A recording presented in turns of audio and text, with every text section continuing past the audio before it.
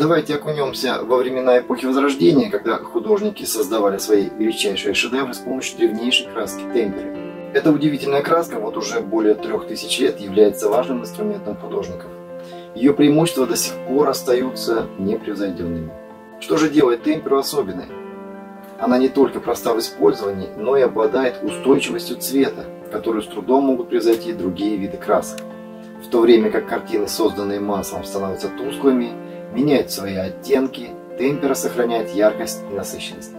Это позволяет художникам создавать многослойные произведения с помощью тончайших лессировок, где каждый следующий слой остается четким и точным. Сегодня мы углубимся в изучение основных свойств темпера, в том числе в разрезе техники оптических просветов.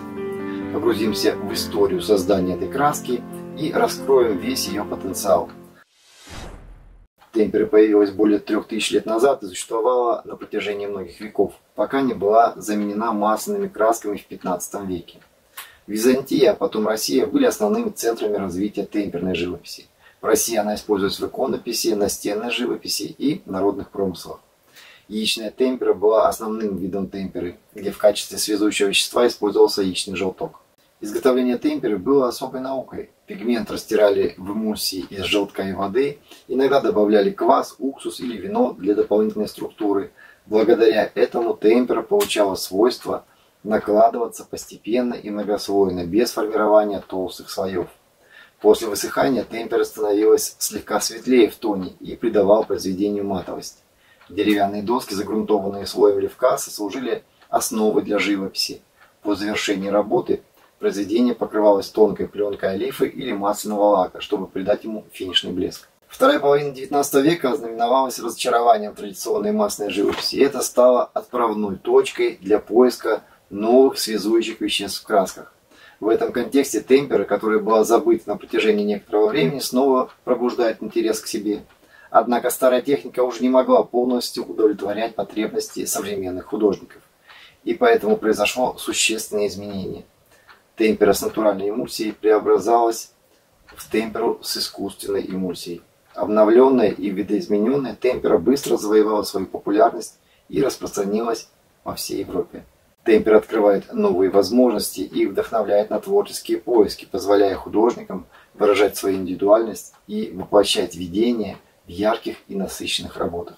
Кстати, расскажите, знали ли вы раньше что-то о темпере? Возможно, использовали ее в своих работах? Или вовсе считали недостойные ваших произведений? Ответы пишите в комментариях. В технологии оптических просветов составами на основе темпера ведется около 80% всей работы. В основном она направлена на создание правильных светотеней и формирование новых оттенков. Также темпера играет ключевую роль в получении цветовых эффектов топ.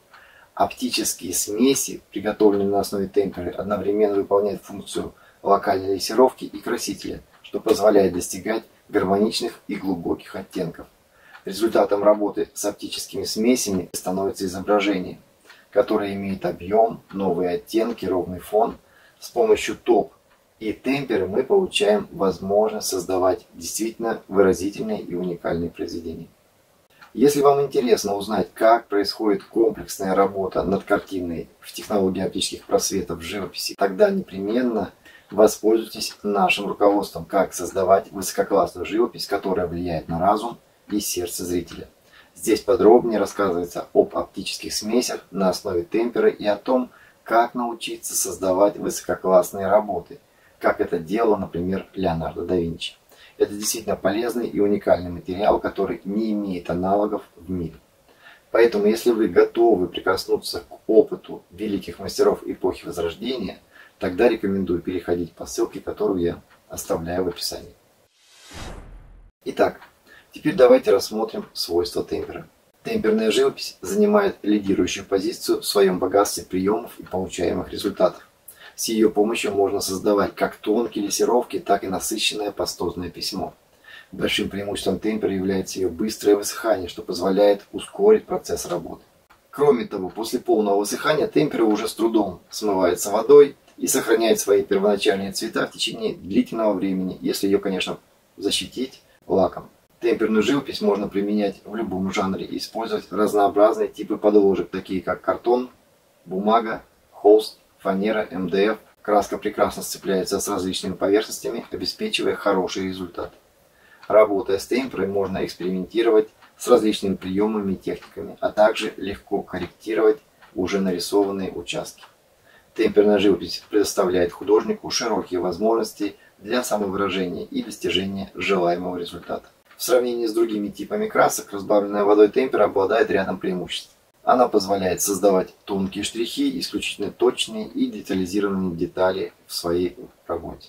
Вода в темпере повышает текучесть краски, в отличие от густого масла, что делает процесс нанесения более плавным и контролируемым. Темпера быстро высыхает, поскольку вода испаряется сразу же, что позволяет художнику быстро продолжать работу.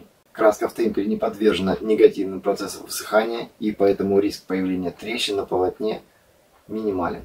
В технологии оптических просветов, основанной на методике старых мастеров для приготовления темперных смесей, применяются следующие сочетания. Охра светлая плюс белила создает более светлый краситель, предназначенный для работы в полутонах и на свету. Охра светлая плюс еще больше количество белил помогают работать на самых ярких местах объектов. Охросветовая плюс черная краска применяется для создания теней. Такой подход позволяет художнику контролировать и воссоздавать различные цветовые эффекты и светотеневые переходы в изображении. Кстати, в механизме ТОП успешно сочетаются различные техники живописи, такие как масло, темпер, акварель, акрил. Это сочетание материалов помогает создать удивительное, гармоничное и прекрасное изображение, без следов кисти и подбора красок на палитре. Ведь в нашей технологии мы используем положительные качества и нивелируем отрицательные. Например, акварель обладает простотой нанесения и прозрачностью, но не дает глубины и насыщенности цветов. А масло, наоборот, представляет собой густую субстанцию, которая помогает достичь насыщенности цвета и глубины, но при этом она достаточно долго сохнет. В нашей достаточно уникальной живописной технике большую часть работы мы выполняем с помощью темперных оптических смесей. Затем на завершающем этапе Покрываем работу слоем масла, чтобы придать ей глубины и насыщенности. И дорабатываем нюансы с помощью масляных колеров.